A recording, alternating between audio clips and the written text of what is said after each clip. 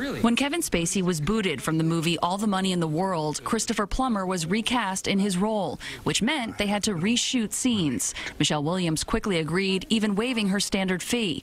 But Mark Wahlberg's contract did not cover reshoots, and according to USA Today, he refused to do it unless he got paid. Reports say she made $80 a day for the reshoots, while Wahlberg made a reported $1.5 million.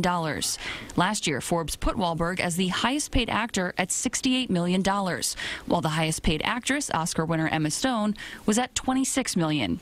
Last month, E! Network host Catt Sadler quit after learning her on-air male counterpart was making nearly twice as much. It's reflective of society values men more than women.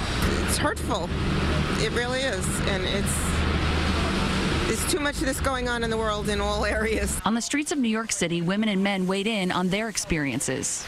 And you think it's happened to you personally in the past? Yes. Over the years, I think it has. Where I've worked in my last job, women were making the same as men. Only in the fashion industry, I think, will you see that women models will get paid more than men models. But other than that, I usually feel like women would get the short end of the stick. According to the 2017 World Economic Forum's Global Gender Gap Report, at the current rate of change, the workplace gender gap will not be closed for 217 years. There's this societal expectation that women are not going to be aggressive or ambitious, and when they act in those ways, they're penalized.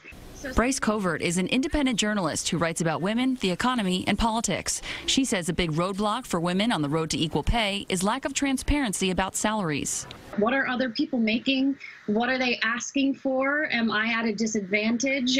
As for closing the gap, she says it's a tough path to navigate and should be case by case. But you have to look at who you're negotiating with, what position you're in with them, um, maybe what uh, evidence do you have or case to make that you deserve more pay than you're getting? Well, she adds, if you don't at least ask, you could be leaving money on the table. You may recall earlier this month, a law in Iceland went into effect, making it illegal to pay women less than men. Employers there must prove they pay men and women in the same jobs equally. Otherwise, they risk fines. Maurice, Christine? Great points there, Alice. Thank you.